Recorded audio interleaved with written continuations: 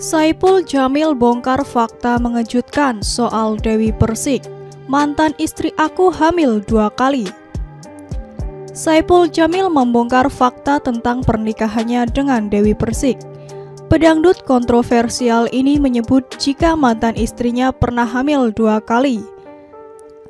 Tapi Saipul Jamil nampaknya kesal mendengar pengakuan Dewi Persik saat mantan istrinya itu membicarakan masalah pernikahannya yang terdahulu. Saat itu artis yang akrab dipanggil DP ini menolak disebut mandul karena tak memiliki anak dari pernikahan pertama maupun keduanya.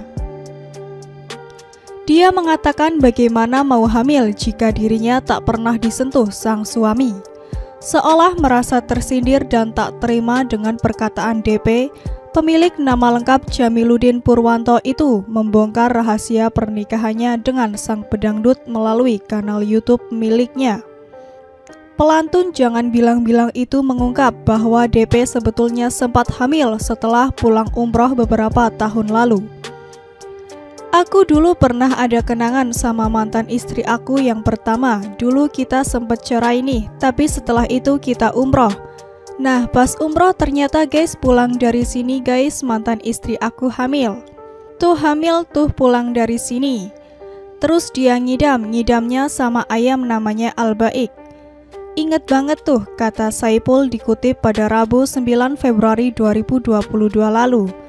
Saipul melanjutkan Dewi Persik pernah hamil dua kali selama berumah tangga dengannya. Ini real, dia sempat hamil dua kali sama aku dan semua anaknya keguguran karena apa?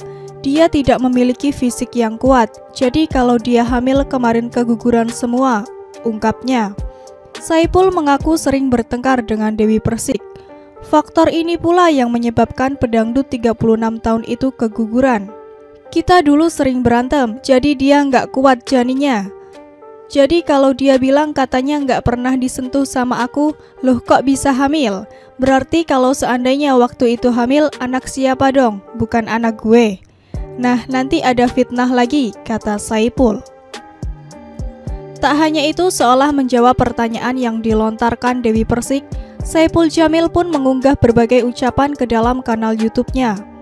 Meski tidak ada kata yang terucap dalam video kompilasi tersebut, Saipul membuat judul untuk unggahannya tersebut yakni Jaga Mulutmu. Sebelumnya Dewi Persik pernah menyindir masalah dirinya yang tak kunjung hamil di pernikahan pertama dan keduanya.